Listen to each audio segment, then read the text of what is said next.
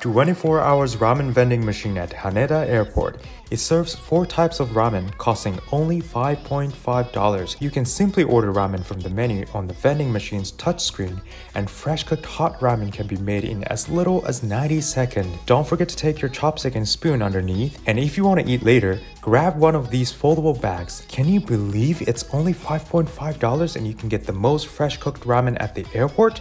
Mmm, affordable Japan.